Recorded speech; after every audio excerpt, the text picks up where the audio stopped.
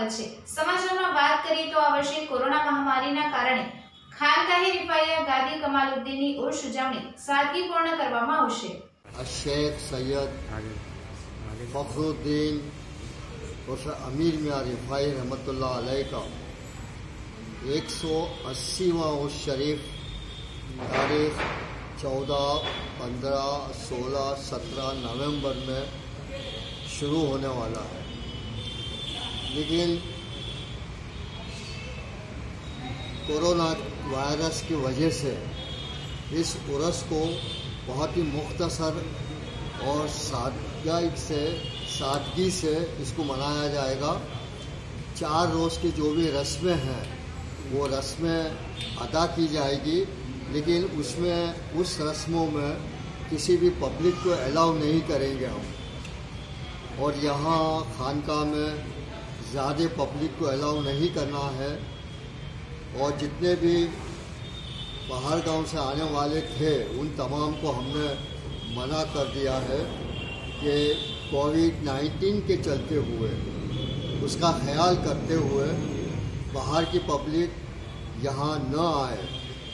और जो चार रोज़ की रस्म है, वो रस्म यहाँ के सज्जादा नशीन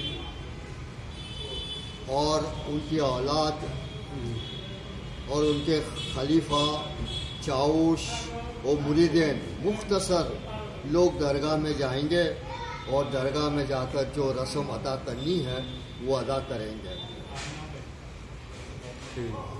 और हम दुआ भी करते हैं कि अल्लाह तबारक ताला इस उर्स की बरकत से ये कोरोना वायरस पूरी दुनिया से ख़त्म हो जाए। और तमाम को, तमाम इंसानों को नई ज़िंदगी मिले, तंदुरुस्ती मिले, खुशहाली मिले, ये मेरी दुआ है।